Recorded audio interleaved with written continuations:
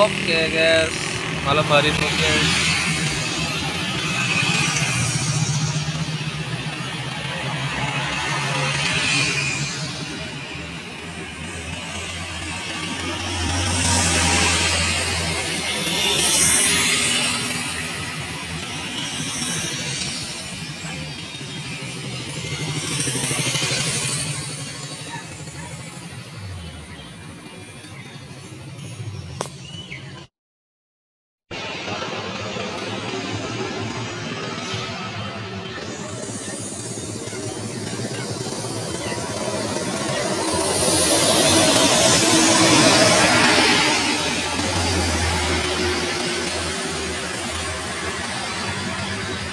Husband and father and open.